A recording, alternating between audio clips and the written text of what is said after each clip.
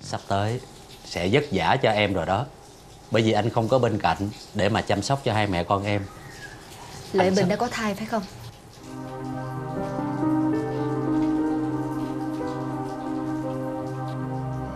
Nhìn bộ dạng của anh như vậy. Coi bộ là đúng sự thật rồi. Cúc à. Nhưng mà tôi vẫn muốn nghe anh nói. Anh nói thật đi Có phải Lệ Bình đang có mang với anh?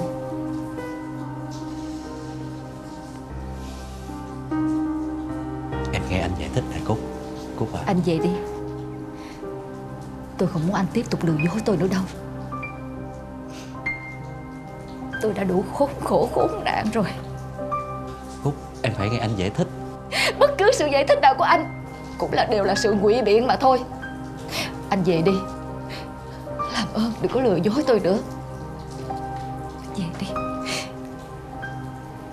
Anh về đi. Anh thề với em. Thực sự anh đám cưới với Lệ Bình Là do cô ta dùng công ty ép anh thôi. Còn lần này Anh xin lỗi. Là do anh say Anh không làm Anh không làm chủ được mình. Anh say Anh không làm chủ được bản thân mình hả?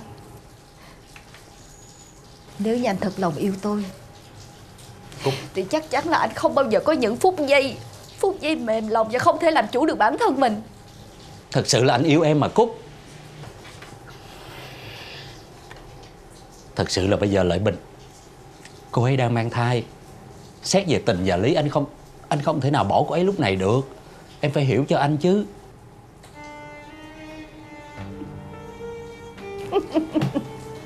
em đừng có Đừng có như vậy mà.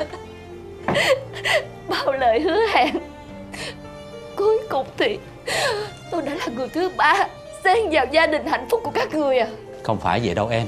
Chính Lệ Bình mới là người thứ ba Chia cắt tình cảm của tụi mình. Nhưng Nhưng mà cô ta đường đường chính chính bước vào nhà anh. Là con dâu của mẹ anh Và là mẹ của các con anh Nhưng cô ta không thể nào có được trái tim của anh. Em biết điều đó mà.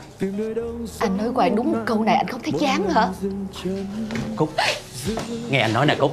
Nghe nè Nghe nè. lời giả dối Cúc nữa đâu lại nghe anh. Buông ra Cúc Em hãy vì tình cảm của tụi mình cho anh thời gian được không? Đợi khi nào mà Lợi Bình sinh con xong Anh sẽ ly hôn với cô ta. Cúc anh hứa với em mà Ngày cứ nói ngon nói ngon để dụ dỗ tôi. Để rồi sao? Tôi trở thành một kẻ khốn khổ khốn nạn như vậy. Cúc à Đừng em Một chữ đợi Một chữ chờ. Rồi sao? Tôi đã chờ đợi anh biết bao nhiêu năm rồi Anh có biết không hả?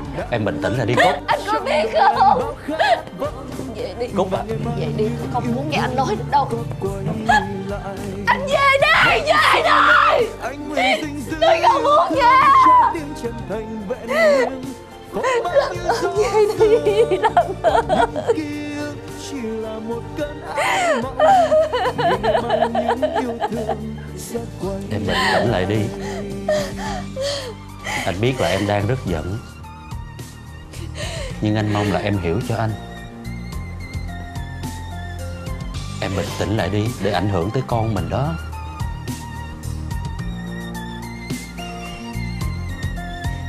Cúc. Giữa hiện thực, quá khứ vội vàng bàn tay ai níu tay anh, rồi buồn lời xót xa. Không nghẹn tìm nơi đâu yên bình, vì tình yêu vẫn danh vọng quá vô tình đánh mất tình yêu, trôi theo giấc mơ dài. Vì ai tham vòng đời đỉnh cao. Thanh xuân ơi, anh nguyện gìn giữ chân phương xóa tan lỗi lầm khổ đau. Cho sâu bao tổn thương, nghẹn đắng nước mắt trong đời anh bao khát Anh có mua đồ ăn sáng cho hai mẹ con nè. Em ăn đi.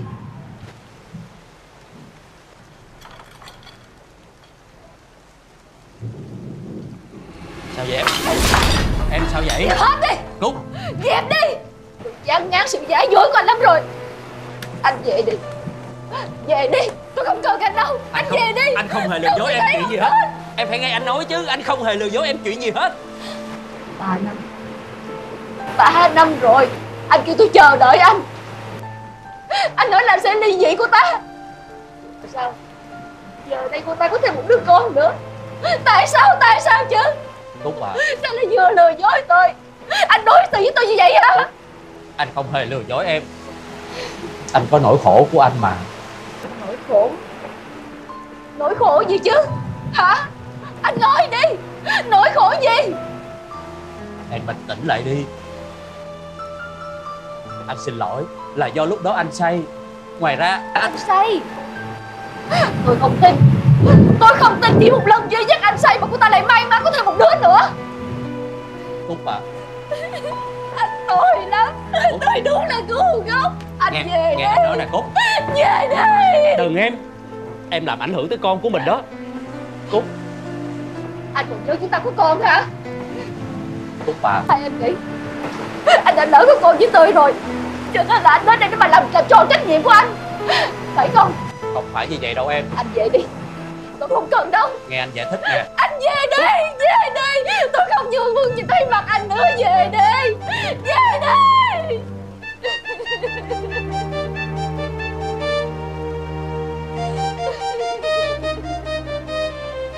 Thôi mà em.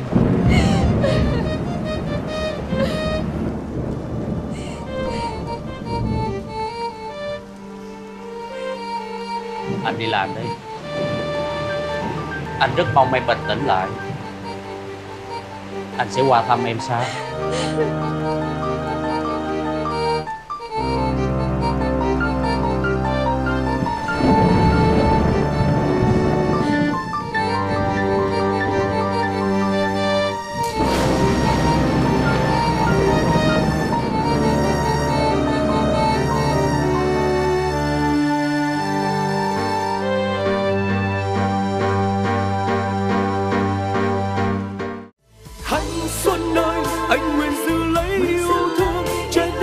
Thành vẹn nguyên phong ba như gió sương. Còn những ký ức chỉ là một cơn ác mộng, vì ngày mai những yêu thương sẽ quay lại.